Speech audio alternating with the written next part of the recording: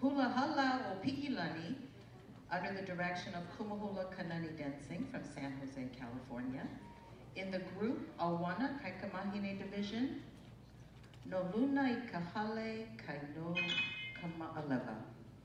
The goddess Moana Nui Kalehua was Pele's best friend. They came from Tahiti to Hawaii together. Moana Nui Kalehua lived in the channel between Kauai and Oahu. In the water, she was a red goatfish. On land, she could assume the form of a lehua tree laden with blossoms. This is the reason the lehua was kapu for the gods and men left them alone.